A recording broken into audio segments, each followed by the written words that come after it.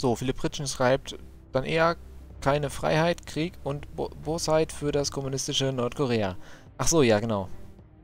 Wenn sie auf einmal die Be das Bedürfnis haben sollten, die, Nordkorea die Nordkoreaner unsere deutsche Nationalhymne zu übernehmen. Ähm, ja, Rekord der Unpopularität ist es gefährlich. Jetzt nicht mehr ganz so. Ich glaube, wir haben es einigermaßen gerettet. Ach so, das Delfin-Orakel hat sich auf enorme Belastung bezogen. Okay. Alles gut. Einer meiner Männer konnte Schlüsselpositionen infiltrieren. Nach meinen Berechnungen ist, das ist so eine alte, geopolitisch gesehen nah bei... Ich sag jetzt mal eine alte Let's Player-Krankheit, dass man alles im Chat auf sich selbst bezieht. Ähm... Wie auch immer. 95 Prozent. Ich hoffe, damit ist die Situation geklärt. Ich schaue mal gerade rein, wie es denn da so vor sich, was denn da so vor sich geht. Wir, ach so, die sind noch am Aufstellen. Okay. Dann können wir den, wir können auch den aus, auch aus der Ferne den Befehl zum Angriff geben. Das geht ja auch, genau. Okay, ähm... Dann... Boote. Ihre Bekenntnis ja, zu den... Schon. Du hast mich schon gelo gelobt, liebe Familienfrau. Das, äh, weiß ich schon. Der will uns ermutigen. Dem, der meint wohl, es geht noch besser. Der beglückt, äh, wünscht uns. Und natürlich müssen wir natürlich jetzt auch auf das Defizit achten. Das ist nicht sehr überraschend. So.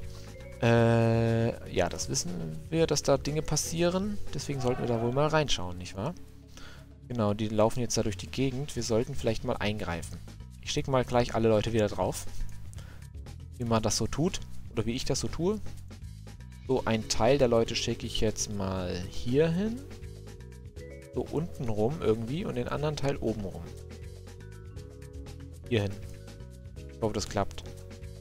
Und ihr könnt mal draufgehen. Wenn die sich sowieso schon selbstständig machen. Genau. Ich hoffe, es klappt. Okay, die gehen unten rum, das ist schon mal gut zu sehen. Dann könnt ihr auch gleich auf die Leute draufgehen. Und die können dann eigentlich auch noch da drauf gehen. Denn die kommen dann sowieso nicht mehr durch, glaube ich zumindest. Ähm, ja, weiter geht's. Sitzblockade. Es mag zwar nicht. Schwächelt. Dann. Oh, der Sit-In. Aha, aha. Das haben wir ja aufgelöst. So. Okay. Dann, German Sports Gaming TV hat geschrieben, ich wurde in äh, Rules of Nations mehrfach abgesetzt und dreimal ermordet. Das ist mir auch oft passiert. Ja, das kenne ich. So, Redman schreibt wieder, pusht die Armee. Jo, kommt auch noch. Äh, dann äh, enorme Belastung schreibt. In Nordkorea ist aber gerade Sozialismus, nicht Kommunismus. Ja, Kommunismus gibt es ja so nirgendwo. Also zumindest nicht so, wie sich äh, der Karl Marx das vorgestellt hat. Ähm, da, hat, da haben sie es irgendwie nie so richtig hingekriegt, das so umzusetzen. Weil sich das wohl leicht, sehr leicht korrumpieren lässt. Nun, äh, Okay, genau. Und das meint das Delfin-Orakel übrigens auch. Dass das so so nicht gegeben hat. So. Äh, dann fragt Philipp Bridgens äh, Ketal äh, äh, Yen, glaube ich. So. Oder Bueno, Bueno, nee, Bueno, oder? Eins von beiden ist beides Spanisch, das weiß ich. Ich weiß jetzt nur nicht genau, was jetzt Adjektiv und was Adverb war oder ob das beides irgendwie... Ich weiß nicht, ist schon zu lange her, es tut mir leid. Äh, ich muss da irgendwie wieder wieder ranklotzen, sage ich jetzt mal. Äh, Pirat Flegi muss Feierabend machen. Schade, aber tschüss. Und viel Spaß noch beim Feierabend. Ähm, dann. Genau, enorme Belastung schreibt alles Sozialismus. Jo, wenn es keinen Kommunismus gibt. Ja, gut. Äh, mach eine Utopie, wo keiner hungert. Das kann man auch machen, ja. naja, man kann zumindest versuchen. Bei Star Trek haben sie es ja geschafft. Aber gut, das ist auch leider keine Realität. Zumindest, was, man, was die Welt angeht bei Star Trek, ist es eine Utopie. Das könnte man sich vielleicht Na gut. Wünschen. Keine Ahnung. Äh, bien ist das richtige Wort. Okay, dann ist bien das richtige Wort. Dann bien. War, glaube ich, mein erster Gedanke richtig. Okay, wo waren wir stehen geblieben? Müssen wir noch irgendwas machen? Wir sind wieder beliebt. Ich glaube, jetzt können wir uns erstmal so ein bisschen zurücklehnen. Ich hoffe, dass die Pazifisten jetzt nicht schon wieder irgendwie aus, ausrasten oder so. Wir müssen doch eigentlich jetzt allen Grund haben, die Pazifisten irgendwie zu bedienen. Äh, zu bedienen. Zu verbieten, meinte ich. So. Äh... So, dann schreibt das Delfin-Orakel. Diese Nachricht musst du nicht vorlesen. Gut. Dann werde ich das nicht tun. Äh, keine Sorge. Was du da meinst, das wird, glaube ich, nicht passieren. Mm. Dann. Wollte ich jetzt... Was wollte ich tun? Ach so, genau. Ich speichere da vorher nochmal, denn ich weiß nicht, was passieren wird, wenn wir das tun. Und zwar würde ich gerne die Pazifisten verbieten, wenn sie so aggressiv sind. Ah, muy bien, natürlich. Natürlich sagt man muy bien in Spanien. Das hätte ich eigentlich wissen sollen. Es tut mir leid. Ich bin leider so sehr gerade mit Latein beschäftigt, dass mein Spanisch verhungert. Ähm. Ja. Ja, äh, was wollte ich machen? Ich habe schon wieder vergessen. Ich weiß es jetzt aber wieder. Tut mir leid. Wenn ich abgelenkt bin, dann, dann vergesse ich alles. Okay. Jetzt aber. Wenn die so aggressiv sind, werden wir sie verbieten. So einfach geht das. Natürlich rasten die aus. Wer hätte es gedacht? Aber vielleicht hilft das was. Keine Ahnung. Ich habe ein bisschen Angst vor der Reaktion der Leute darauf. Stellen mal die Leute auf. Und der Angriff kommt später. So. Oha, das hat aber ganz schön Beliebtheit abgezogen, wenn ich das richtig sehe, oder? Delfin-Orakel schreibt, oh Gott, Latein, die Geißel der Menschheit. Och. Ja, es hat einen schlechten Ruf. Ist die Frage auch, wie sinnvoll ist es, das zu lernen, äh, wenn es nicht mehr äh, aktiv von Muttersprachlern gesprochen wird. Aber so für mich als Historiker und Sprachinteressierten ist das schon was Feines, muss ich ganz ehrlich gestehen. Ähm, Gesetz über Pornografie, genau, das haben wir verboten. Dann Verbot, genau, da haben wir die Pazifisten verboten. Und äh, bei Bleedpad bist du unter 0%. Äh. Wieso, da steht doch 61%, oder? Äh, mach eine richtig krasse Wirtschaft. Mit großem Wachstum und großer Kaufkraft, schreibt enorme Belastung. Ja, das, das klingt nicht verkehrt, das kann man mal machen. So, Chris Pertel schreibt, die Wirtschaft muss teilprivatisiert werden, wodurch Investoren kommen. Okay, wenn das so wichtig ist, dann können wir uns das mal überlegen. Und auch Claudio muss Feierabend machen. Das ist bedauerlich, aber das akzeptiere ich und äh, ich wünsche dir noch einen schönen Feierabend. Und bis zum nächsten Mal hoffentlich. Äh, Philipp Ritschen schreibt, äh, meine Klasse hat sich für die beste Klasse Deutschlands beworben.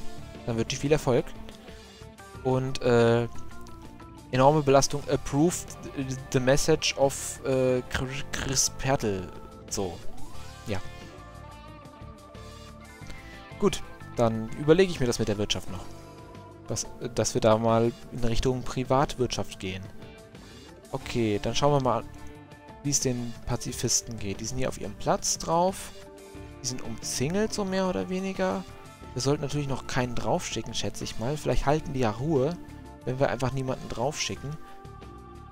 Dann können wir das hier aufteilen, dass wir einen Teil auf die eine Seite schicken und den anderen Teil auf die andere Seite. So. Ungefähr. Dann kriegen wir die vielleicht ganz gut in Kontrolle. Hoffe ich zumindest. Dann. Und äh, David King freut sich übrigens gerade. Zumindest entnehme ich das der Chatnachricht, die aus einem Semikolon und einem großen D besteht. So. Sie sind großartig. Das ist schön. Das ist schön zu hören. Das höre ich gerne. Dann. Äh, oh, jetzt habe ich die Nachricht weggeklickt, die ich eigentlich lesen wollte. Das tut mir leid. Tut mir selbst leid, um mir selbst willen, wie auch immer. Äh, die rennen überall hin. Warum rennen die denn überall hin? Was machen die da? Wollen die nicht sich irgendwie wehren oder so? Stattdessen rennen sie überall hin. Überall. Nur nicht dahin, wo sie irgendwas bewirken können. Das wäre faszinierend. Dann schreibt enorme Belastung, aber dereguliere so viel wie möglich, damit sie sich austoben können, also die Wirtschaft. Also äh, kleine Umweltsteuer etc. Okay. Ich bin beim Politik-Simulator zumindest immer so der Fan von äh, krassen Entscheidungen, was auch dann die äh, Umweltsteuer betreffen würde, um halt die Umwelt zu schützen. Aber gut, wenn das so schlecht ist, dann werde ich mir das überlegen. Ähm, ja, Philipp Pritschitsch schreibt, irgendwie ist die Pazifistenunion nicht sehr pazifistisch. Nun, da könnte was dran sein in dieser Aussage, wenn ich mir das so überlege. So, ja genau, enorme Belastung hat vollkommen recht. Die Pazifisten sind irgendwie Feiglinge. Aber gut, die sind halt Pazifisten, ne? Das muss man respektieren, dass das eben Pazifisten sind. Dann dürfen die, dann dürfen die auch wegrennen, wenn es spannend wird. Okay. Jetzt die Frage, kommt da jetzt noch irgendwas, äh, erste Opfer? Jetzt rasten die schon wieder aus, oder was? Die sind so nervig, diese Pazifisten. Also... Gegen Demokraten helfen nur Soldaten, es tut mir leid. Zumindest in Nordkorea. Ähm... Ich hoffe, dass niemand diese Aussagen zu ernst nimmt, die ich hier ab und zu tätige. Am Anfang des Spiels kam mir eine Warnung. Dies ist nur ein Spiel und so. Wie auch immer. Äh, die laufen weg. Schon wieder, oder? Das bedeutet Krieg. Sie haben den, äh, die haben den Tod geschworen aus der... Diese Grammatik, ey. Sie haben den Tod geschworen aus der Pazifistenunion, nicht wahr? Bla bla bla bla bla bla bla bla bla bla und so. Ja. Schlimme Dinge. Äh, dann schlimme Dinge, schlimme Dinge. Mm, und ich gebe mir mein Bestes, die Leute da irgendwie einzuholen, aber die werden wahrscheinlich wieder die Polizeistation erreichen, bevor wir irgendetwas tun können. Fürchte ich. Dann, äh...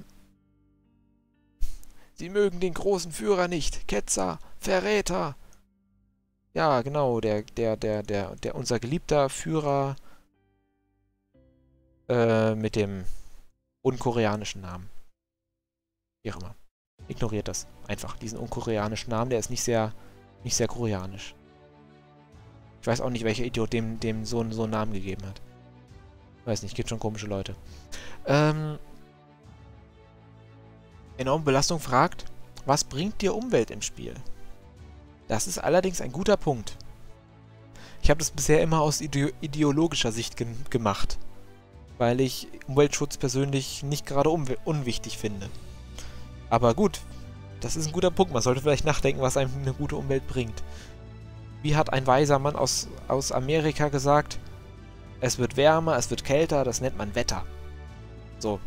Aber ich glaube, das habe ich schon mal gesagt, ne? Den habe ich schon mal zitiert. Aber ich fand den, fand den Spruch so denkwürdig, deswegen. Äh, so, die Panzer können ja nicht in das Gebäude rein. Dann nehmen wir die, die Fußgänger und schicken sie da rein und hoffentlich können die was machen. Ich meine, die halten da ja noch irgendwie die Stellung gerade, die anderen. Wieso schicke ich die eigentlich nicht dahin? Ich bin so blöd. Da kann man die Bande kaputt machen. Vielleicht bringt das auch was. Äh... Billy Pritchens meint, okay, auf gar keinen Fall pazifistisch, genau. Äh... Dann German Sports Game TV schreibt, die wehren sich ja kaum, wenn du kommst. Vielleicht weil es Pazifisten sind, wer weiß. Vielleicht hat es ja einen Einfluss darauf. Baller, baller mal drauf, los. Bevor der weg ist. Ich glaube, das wird nichts mehr. Nee, haut ab. Okay. Äh... Okay, was haben sich die Eltern wohl bei dem Namen gedacht? Ja, in der Tat. Das weiß ich auch nicht. So, ich könnte jetzt nochmal Ronald Reagan mit den Bäumen zitieren, aber habe ja schon, genau. Deswegen ist mir auch eingefallen, dass ich den Satz auch schon mal gebracht habe. Jetzt, wo du das sagst. Hm. Okay, das hat sich dann auch wieder erledigt. Ich hoffe, dass wir die Pazifisten dann demnächst mal los sind. Ich habe nämlich keine Lust auf nochmal Prügeleien mit Pazifisten. Auch wenn das ganz witzig ist, weil es ja Pazifisten sind. Aber es ist doch etwas nervig auf die Dauer. Es hält uns doch etwas auf. Apropos, hält uns auf. Wisst ihr, was uns gerade aufhält? Die Nationale Assoziation für eine alternative Welt. Damit kann man das Wort Assoziation so im Deutschen benutzen? Ich meine, ich meine, äh, ja, ich weiß, es gibt das Wort Association, Association, Assoziation und solche Dinge, aber am Deutschen? Weiß ich nicht. Keine Ahnung. Äh, ausrücken. Und dann überlege ich mir, ob ich die alternative Welt auch noch verbiete. Er verbiete eine alternative Welt. Äh, habe ich den jetzt schon den Befehl an angegeben? Das war keine Absicht. Doof. Okay. Ähm, da ist der Streik. Den Streik müssen wir auch, auch äh, da müssen wir auch einschreiten, schätze ich einfach mal. Ah, okay. Und das Delfin-Orakel äh, nimmt mir das, die Aufgabe des Form, äh, Folgentitels überlegen äh, ab. Das ist, da bin ich dankbar für. Mal sehen, vielleicht heißt die Folge ja Prügeln mit den Pazifisten. Oder sowas ähnliches. Kann ich mir gut vorstellen, ja? Mal schauen. Wenn man das Video sieht, dann wird man es ja sehen. Aha. Hahaha. Ha, ha. Okay. Danke fürs Ertragen des Videos für heute. Kannst du mir bitte sagen, ob dich das Filmchen freut? Daumen hoch und runter, die stehen dafür bereit und Kommis machen munter, die lese ich jederzeit.